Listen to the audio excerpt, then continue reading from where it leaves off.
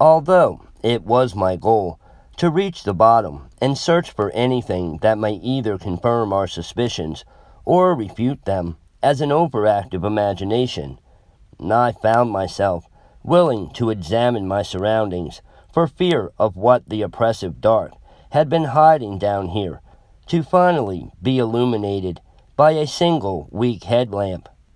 I opened my eyes. There was nothing there. There was no little body, no pile of corpses, no blood, no bones, and no gore. Well, that's it then, I thought. I'll just climb back up, and we can go home. But was it not our intention to come down here anyway?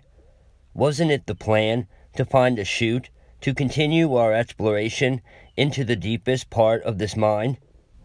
It was not until finding the necklace that this mind seemed to change.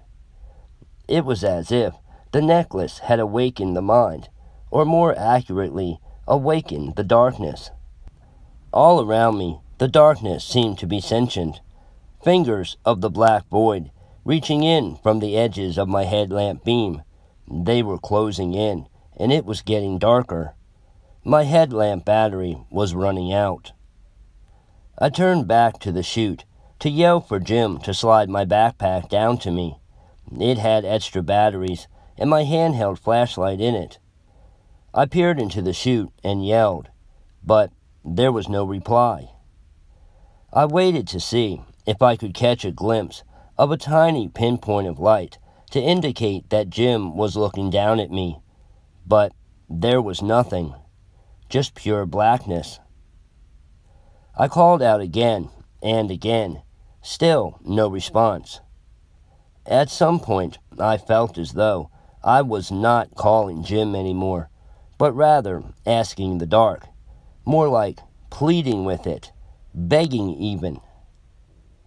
Just when I thought the blood in my body would surely begin to dry up, I heard something coming down the chute toward me.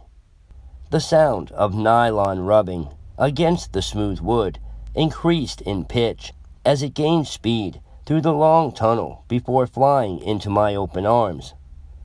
I quickly opened the backpack to find that it only contained a Polaroid camera and some extra climbing clips, along with a few other things. This was not my pack. This was Jim's pack.